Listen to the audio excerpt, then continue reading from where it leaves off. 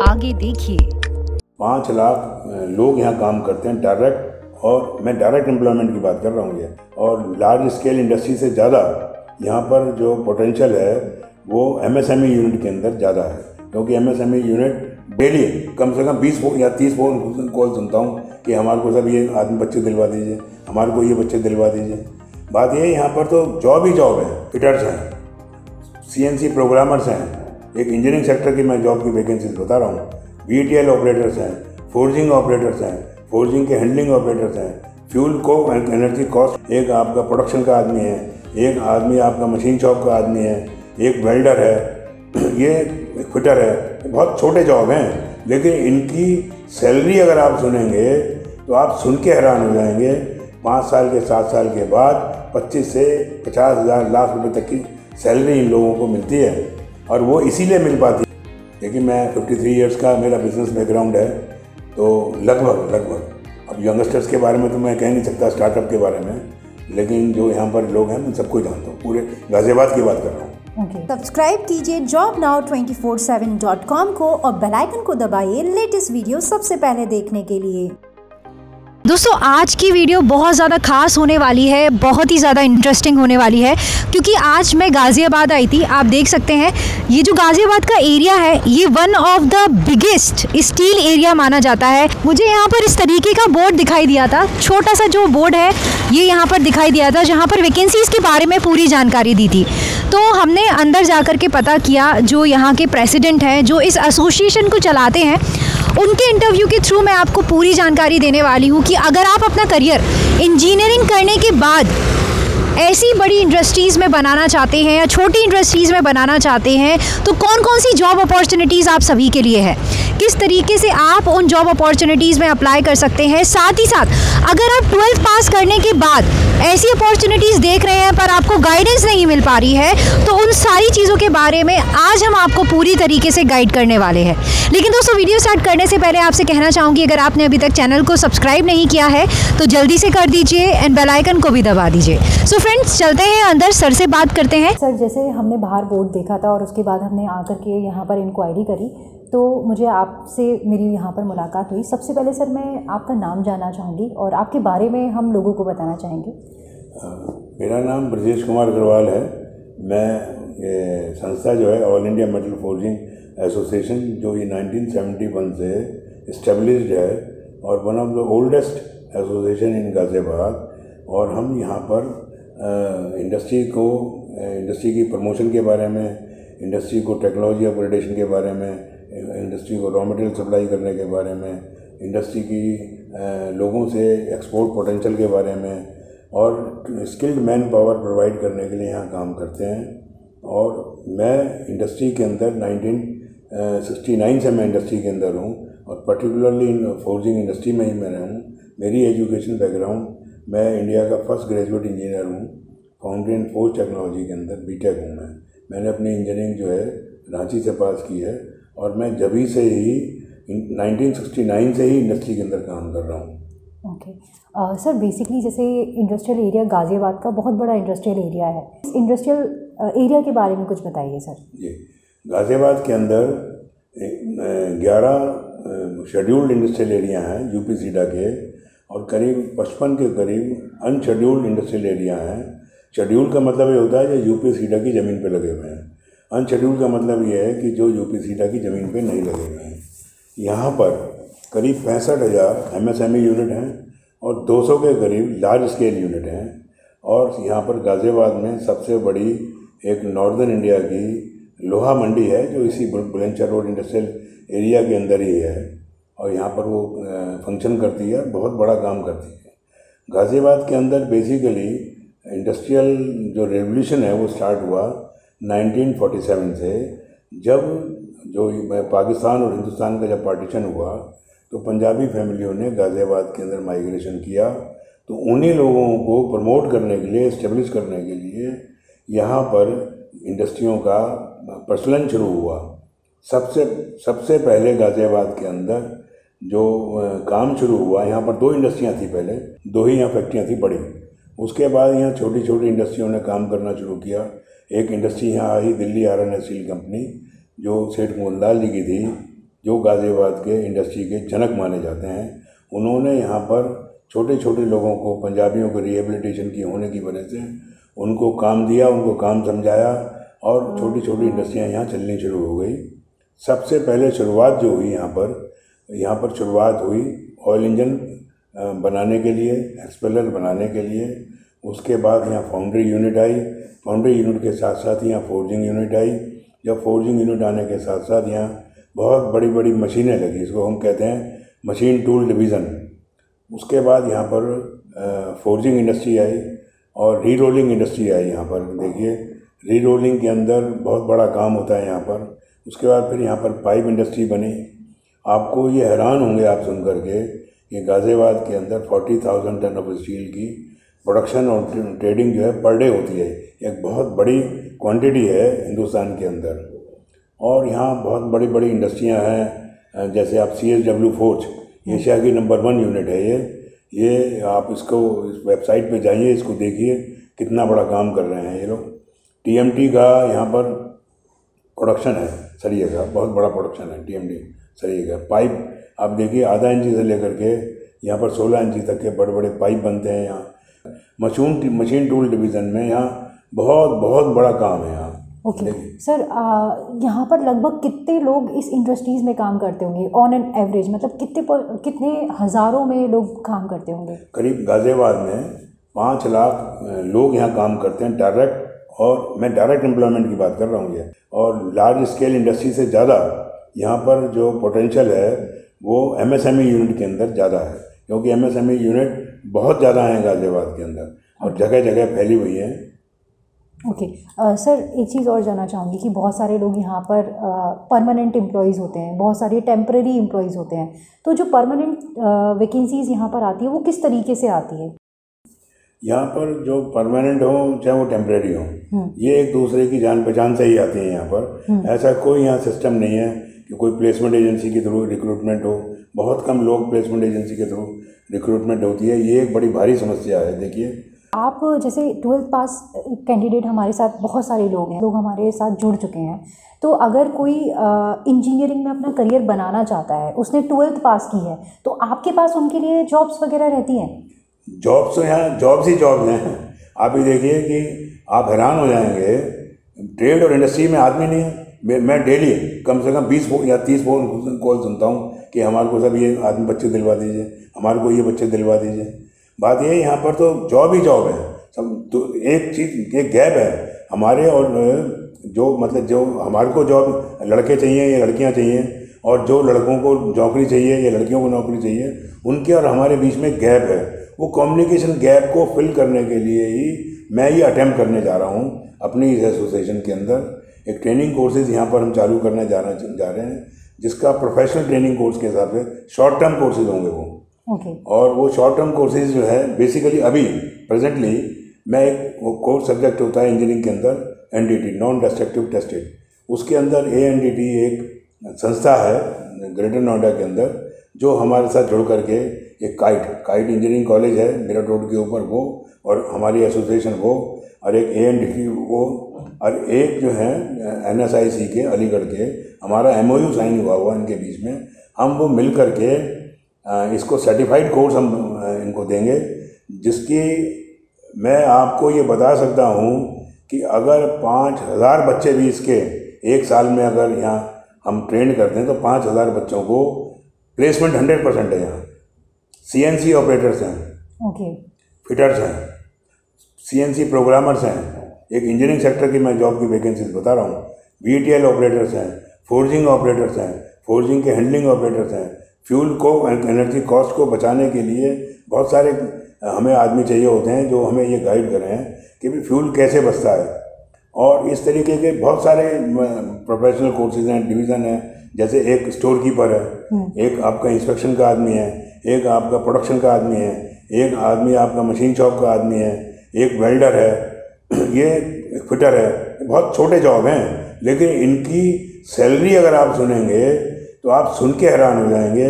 पाँच साल के, सात साल के बाद पच्चीस से पचास हज़ार, लाख रुपए तक की सैलरी इन लोगों को मिलती है। और वो इसीलिए मिल पाती है क्योंकि वो अपने सब्जेक्ट में, अपने काम के अंदर माहिर हो जाता है। हमें क्वालिफाइड बच्चे नहीं चाहिए। मैं ये बिल्कुल आपको इस समय ये नहीं कहना चाहूँगा क्वालिफिकेशन के ऊपर मैं ये नहीं कहना चाहूँगा कि क्वालिफिकेशन नहीं होनी चाहिए। क्वालिफाइड बच्चे नहीं होने चाहिए।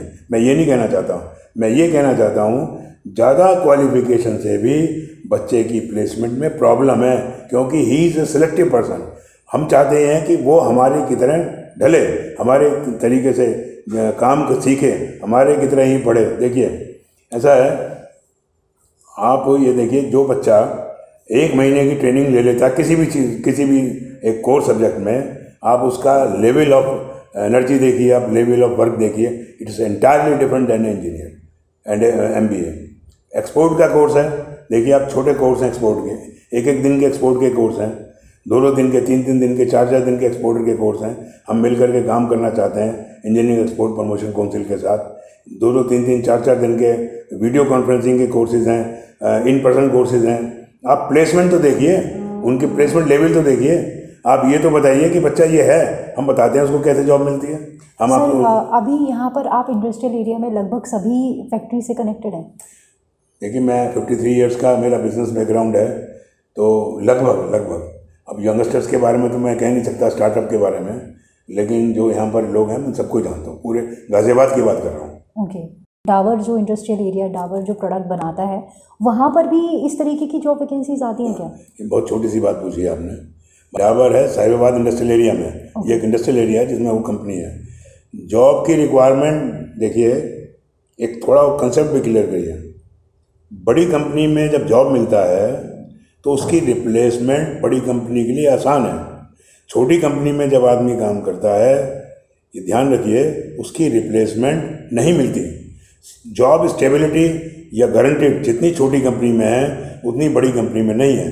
दूसरी बात यह है स्टार्टिंग में they may get a good salary in big company लेकिन शुरुआत के अंदर छोटी कंपनी में सैलरी मिलती है, लेकिन जंप बहुत ज़्यादा है। देखिए छोटी कंपनियों में सैलरी जो मिलती है या वेजेस जो मिलती है टैलेंट के साथ साथ उसको वफादारी की सैलरी भी मिलती है। How how much is loyal to the owner okay okay. एक और लास्ट क्वेश्चन मैं आपसे पूछना चाहूँगी। जो आप कोर्सेज अभी इंडस्ट्रियल एरिया के लिए लेकर के आए हैं फैक्ट्रीज़ के लिए लेकर के आए हैं, उन कोर्सेज में कौन से कैंडिडेट अप्लाई कर सकते हैं? ट्वेल्थ पास कैंडिडेट अप्लाई कर सकते हैं या इंजीनियरिंग कॉलेज वाले कैंडिडेट अप्लाई कर सकते हैं? ट्वेल्थ पास कॉमर्स हो, चाहे साइंस हो, लड़का हो चाहे लड़की हो, सबको हम मिनिमम क्वालिफिकेशन हम इंटर पास इसलिए कह रहे हैं कि वो हमारे को बहुत सूट करती है। हायर एजुकेशन बीटेक हो एमटेक हो एमबीए हो हमें कोई प्रॉब्लम नहीं है इसमें। उनकी सैलरी एक्सपेक्टेशन थोड़ी बढ़ जाती हैं। नहीं सैलरी एक्सपेक्टेशन बढ़ती नहीं है। उनकी सैलरी एक्सपेक्टेशन बढ़नी चाहिए। जितना ज़्यादा वो कोर्स को अटेंड करेंगे जितना ज़्यादा वो ट्रेनिंग लेंगे प्रैक्टिकल ट्रेनिंग इसके अंदर करने के बाद तो उसकी सैलरी बढ़ेगी। देखिए जो इंटर इंटर पास जो बच्चा है हमारी सिलेक्शन इंटर पास की क्यों है? क्योंकि उसका सैलरी स्टार्ट स्टार्टिंग सैलरी कम होगी लेकिन उसकी ड्यूरेशन स्टेबिलिटी की बहुत ज़्यादा होगी। बहुत ज़्यादा होगी, क्योंकि हायर एजुकेटेड बच्चा जो है इंडस्ट्री के अंदर जॉब को चेंज बहुत जल्दी करता है। वो चेंज करने की वजह से हो सकता है कि उसकी सैलरी बढ़ जाए, लेकिन उसकी स्टेबिलिटी नहीं रहेगी। आज सबसे ज़्यादा ज़रूरत आज की मैं आप सब लोगों को ये बताना चाहता हूँ यूट्यूब के माध्यम से क्वालिफिकेशन ट्रेनिंग के साथ साथ सब लोग आप वफादारी इनपुट को भी डेवलप करिए। जहाँ आप काम करते हैं, उसके लिए वफादार भी रहिए आप। How much you can be loyal to them मैं ये भी साथ साथ कहूँगा कि जो जो लोग जिसको एम्प्लॉय करते हैं, वो भी अपने एम्प्लॉय की तरफ़ वफादार हों। अगर दोनों वफादार होंगे, तभी देश और समाज या जो हमारी इंडस्ट्रियाँ या ट्रेड हैं, वो आगे बढ़ पाएँगे। ये देखिए, इतनी ज़्यादा रिक्वायरमेंट है, इतनी ज़्यादा बच्चों की, लड़कों की, लड़कियों की, इतनी रिक्वायरमेंट है, मैं आपको बता नहीं सकता हूँ। फ्रेश के लिए, मैं ये नहीं कहता हूँ, बड़ी कंपनी फ्रेश को रख लेती हैं। रखने के बाद वो ट्रेनिंग देती हैं। हम चाहते ये हैं कि जो बच्चा कम पढ़ा लिखा है, गरीब तबके का है मीडियम क्लास का बच्चा है, हम उसको यहीं ट्रेनिंग दें। देखिए, अभी मैंने पिछले साल करीब डेढ़ सौ बच्चे जो मैंने रिक्रूट किए थे, वो कैसे किए? बच्चों का मैंने इंजीनियरिंग के बच्चों को और आईटीआई के बच्चों को मैंने बुलाया, उनकी मैंने काउंसलिंग करी काउंसलिंग करने के बाद इंडस्ट्री के अंदर भेजा। भेजने के बाद उनको, जिस इंडस्ट्री के अंदर एम्प्लॉयमेंट की रिक्वायरमेंट थी, उनकी मैंने यहाँ पर ट्रेनिंग दी, उनको वेबसाइट से उनको ट्रेनिंग दिलाई कि देखिए ये इसकी वेबसाइट है कंपनी की। देखो, उसके बाद अपने क्वेश्चन आंसर मेरे से पूछो।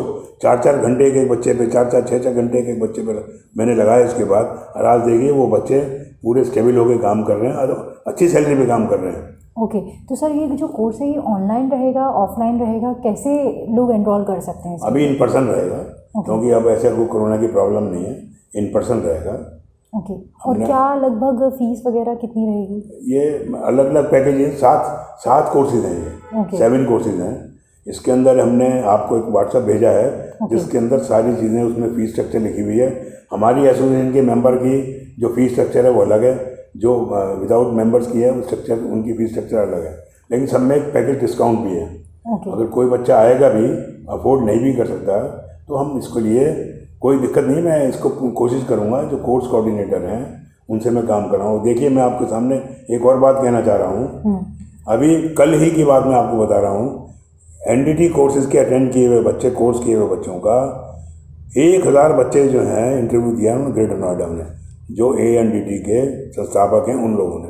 और तीन सौ बच्चे उसमें सेलेक्ट हुए हैं फॉर अब्रॉड सैलरी के लिए। ऐसे ही आज उनका बॉम्बे के अंदर इंटरव्यू है वहाँ भी सिलेक्ट होंगे। देखिए पूरे दुनिया में जहाँ पर इंजीनियरिंग इंजीनियरिंग इंडस्ट्रीज़ हैं रिफाइनरीज हैं जहाँ पर बड़े बड़े कारोबार हैं कारखाने हैं वहाँ पर एन की रिक्वायरमेंट है। हमने कोर्स सब्जेक्ट को पकड़ा है अभी। ओके ओके सर तो बहुत सारी जानकारी दी सर और आपने बहुत सारी चीज़ें लोगों को बताया कि किस तरीके से इंजीनियरिंग में इंजीनियरिंग जो कैंडिडेट रहते हैं वो अपना जो करियर है वो परस्यू कर सकते हैं। और आपने एक व्हाट्सएप जो सेंड किया है वो भी मैं डिस्क्रिप्शन में डाल देती हूँ। इन केस अगर अप्लाई किस करना है तो उसके लिए वो आपको मेल करें या फिर फ़ोन करें। ये भी आप मुझे बता दीजिए। देखिए मेल भी करें चाहे फ़ोन करें। मैं आपको अपना एक कार्ड भी दे देता हूँ। आप उसको भी भेज देना। मेल करें चाहे वो फ़ोन करें हमारा मेन उद्देश्य यही है। देखिए बच्चे आए बच्चे आएँ पढ़ाएँ। हम देखिए मैं फिफ्टी सेवेंटी फाइव ईयर्स का हूँ मुझे पैसा कमाने के लिए काम नहीं करना है। मुझे बच्चों को पढ़ाने के लिए उनके रोज़गार दिलवाने के लिए उसका फ़ायदा बच्चों का नहीं है। हमारे को बहुत फ़ायदा है। हमारी इंडस्ट्री को बहुत फ़ायदा है। ट्रेन मैन पावर मिलती है। और उसके बाद उसकी ग्रोथ रेट बहुत बढ़ती है। अभी आपको देखिए हम लोगों ने N S I C Aligarh से टाई अप किया एम ओ यू साइन किया।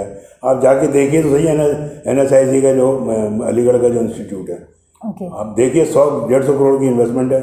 छोटी छोटी चीज़ों पर वो ट्रेनिंग दे रहे हैं बच्चों की। अब हम उनको बुला बुला के C N C operators C N C programmers lathe operators उनको बुला रहे हैं इनको एम्प्लॉयमेंट दिलवा रहे हैं उधर की तरफ़ से। अगर सर ऑलरेडी जो लोग इस मतलब इंजीनियर्स हैं जिनको थोड़ी बहुत नॉलेज है क्या उनको डायरेक्ट एम्प्लॉयमेंट भी दिलाते हैं आप? बिल्कुल मैं बिल्कुल तैयार हूँ बिल्कुल तैयार हूँ। ओके सर उसकी काउंसलिंग करके हाँ. समझने के लिए देखिए मेरे लिए क्वालिफिकेशन की कोई वैल्यू नहीं है। हम्म. मेरे लिए वैल्यू है क्या बच्चा बनना चाहता है? देखिए मैं बैडमिंटन का खिलाड़ी रहा हूँ और हूँ भी और मैं स्टेट के अंदर खेलता रहा हूँ।